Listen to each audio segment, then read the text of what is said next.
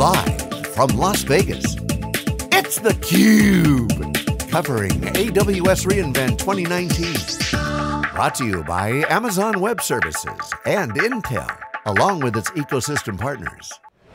Well, welcome back here on theCUBE. We're at AWS reInvent 2019, and every once in a while, we have one of these fascinating interviews that really reaches beyond the, the technological prowess that's available today into almost the human fascination of, of, uh, of work, and that's Good what story. we have here. Dave Vellante, John Walls. We're joined by Sebastien De Halleux, who is the CEO, COO rather, of a company called Saildrone, and what they feature is wind-powered flying robots, and they've undertaken a project called Seabed 2030 that will encompass mapping the world's oceans. 85% of the oceans we know nothing about. That's right. And, and yeah, they're going to combine this tremendous technology with 100 of these flying drones. So Sebastien, uh, we're really excited to have you here. Thanks for joining us, and wow, uh, what a project. So just paint the high level, if you will, I mean, not to be, yeah, so have a pun here, but just to share with folks at home a little bit about the motivation of this and what gap you're going to fill. Then we'll get into the technology. Yeah. So I think you know the, the first question is to realize the role of oceans, you know, and how they affect you on land and all of us. Half the air you breathe, half the oxygen you breathe comes from the ocean. They cover 70% of the planet and drive key, you know, global weather, they drive all the precipitation, they also drive sea level rise, which affect coastal communities, they provide 20% of the protein or the fish that we all eat. So, you know, it's a very, very important survival system for all of us on land. The problem is, it's also a very hostile environment, very dangerous, and so we know very little about it because you know, we study with a few ships and buoys, but that's really a few hundred data points to cover 70% of the planet, whereas on land we have billions of data points right. uh, that are all connected. So that's what we're trying to fundamentally address is deploying sensors in the ocean using autonomous surface vehicle, or we call sail drones, which are essentially, think of them as autonomous sailboats. Seven meters, 23 feet long, bright orange thing, with a five meter tall uh, sail, which is harnessing wind power for propulsion, and solar power for the onboard electronics. And then you've got sonar attached to that. That's what's going to do the, the, the uh, uh, the mapping underwater itself. mapping, right? So you can look for uh, marine life, you can look for geographical or topographical uh, anomalies and whatever, and so it's a multi-dimensional look using this sonar that I think is powered down to seven kilometers, right? That's so right. That's how far down, 20, 30,000 feet. That's right. you're going to be able to derive information from. You, you essentially described it as you're painting the ocean with sound. That's absolutely right. Whereas, yeah. you know, if you wanted to take a, a, picture of land, you could fly an airplane or a satellite and take a photograph. Light does not travel through water that well. And so uh, we use sound instead of light, but the same principle, which is that we send those pulses of sound down and the echo we listen to from the seabed or from fish or, or, critters in the water column. And so yes, we paint the ocean with sound and then we use machine learning to transform this data into biomass, statistical biomass distribution, for example, or 3D surface of the, of the seabed after processing the sound data. And you have to discern between different objects, right? I mean, you showed, you showed one picture of a seal sunbathing on one of these drones right? Or is there a boat on the horizon? How do you do that? It's an extremely hard problem because if a human is at sea looking through binoculars at things on the horizon, you're going to become seasick, right? so imagine the state of the algorithm trying to process this in a frame where every pixel is moving all the time. Unlike in land, you know, where you have at least a static frame of reference. So it's a very hard problem, and one of the first problem is training data. Where do you get all this training data? So all drones, you know, hundreds of drones takes millions of pictures uh, uh, of, the, uh, of the ocean, and then we, we, we, we train the algorithm using uh, um, uh, either labeled data sets or other source of data, and we teach them what is a boat on the horizon, what does that look like, uh, what's, a, what's a bird, what's a seal, and then in some hard cases, when you have a whale under the sail drone or a seal lying on it, we have a lot of fun pushing it on a blog and asking the experts you know, to really classify, you know, what are we looking at? When you see a fin, is it a shark, is it a dolphin, is it a whale? I hope it it's a dolphin. I hope yeah. it's a dolphin, yeah. All right, so I mean, I, I, I, want to get into the technology, but I'm just thinking about the practical operation of yes. this. They're wind powered. Yes. But they just can't go on forever, right? I mean, they have to touch down at some point somehow, right? You're going to hit water. How do you keep this operational when so, you've got weather, yep. you know, situations, you've got some days maybe when wind doesn't exist, there's not enough there to keep it uh, upright, you know, keep it operational? I mean, Very good question. I mean, the ocean is often described as one of the toughest environments in the universe because you know you have corrosive force, you have pounding waves, you have you know things you can hit, you know, ma- marine mammals, whales who can breach on you. So it's a very hard problem. They leave the dock on their own and they sail around the world for up to a year, and then they come back to the same dock on their own. And they harvest all of the energy from the environment.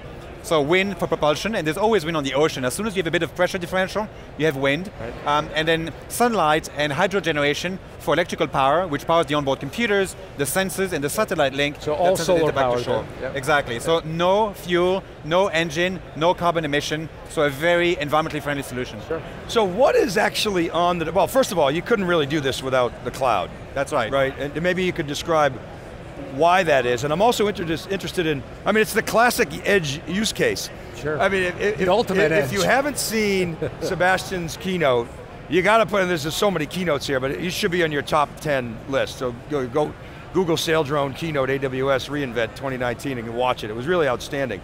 But help us understand what's going on in the cloud and what's going on on the drone.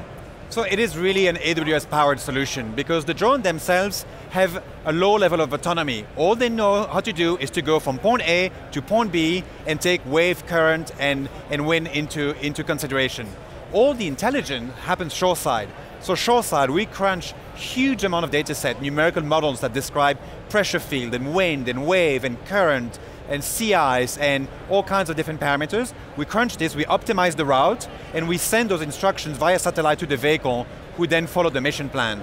And then the vehicle collects data, one data point every second, from about 25 different sensors, and sends uh, this data back via satellite to the cloud, where it's crunched into products that include weather forecast. So you and I can download the Saildrone Forecast app and look at a very beautiful picture of the entire Earth and look at where's it going to rain, where's it going to wind, should I have my barbecue outside, uh, or, or is a hurricane coming down you know, to, to, towards my, my, region. So this, is, this, this, this, this entire chain, from the drone uh, to the, the, the, transmission, to the compute, to the packaging, to the delivery in near real time into your hand is all done using AWS Cloud.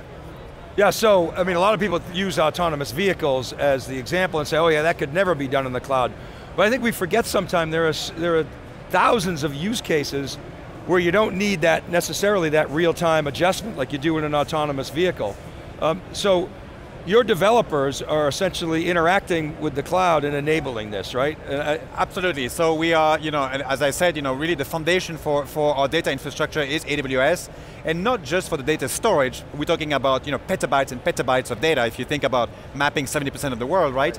But also on the compute side. So running weather models, for example, requires supercomputers, and this is how it's traditionally do, done. So our team has taken those supercomputing jobs and brought them into AWS using all the new instances uh, uh, like C3 and, and, and, and, and uh, C5 and, and, and P3 and all this high performance compute that you can now move from all legacy supercomputers into the cloud.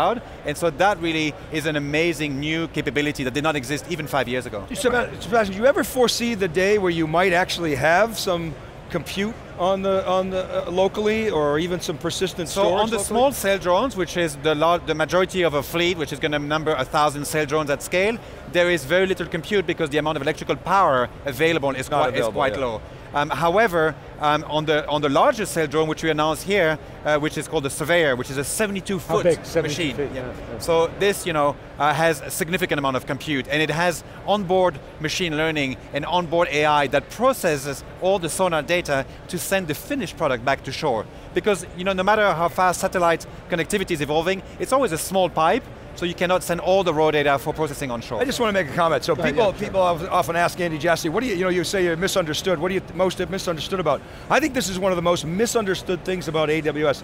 The edge is going to be won by developers, and Amazon is basically taking, taking its platform and allowing it to go to the edge, and it's going to be a programmable edge, and that's why I really love the strategy, but please. Yeah, go yeah no, um, you were talking about, we talked about this project, you know, Seabed 2030, but you talked about, you know, weather forecast or whatever, your client base already, you know, NASA, NOAA, research universities, you've got an international portfolio, so you've got a whole business operation going. I don't want to give people at, at home the idea that this is the only thing you have going on. You have ongoing data collection and distribution going on, uh, so you're meeting needs currently, right? I mean, That's that, right. Yeah. We, we, we, we uh, supply governments around the world from uh, the US government, of course, to Canada, Mexico, Japan, Australia, the European Union, well, you name it. If you've got a coastline, you've got a data problem.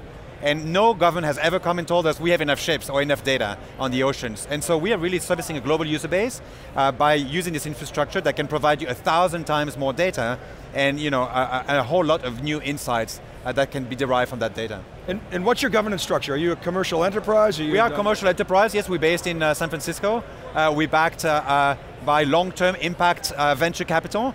we've been revenue generating since, since day one, and we just offer a tremendous amount of value for a much cheaper cost. You use the word impact, you know, there's a lot of impact funds are sort of emerging now at the macro, talk about the global impact that you guys hope to have and the outcome that you'd like yeah, to see. Yeah, you know, like uh, planetary data is all about understanding uh, things that impact humanity, right? Right now, you know, in, here at home, you might have a decent weather forecast, but if you go to another continent, would that still be the case, right? Is there an excuse for us, you know, to not address this disparity of information and data?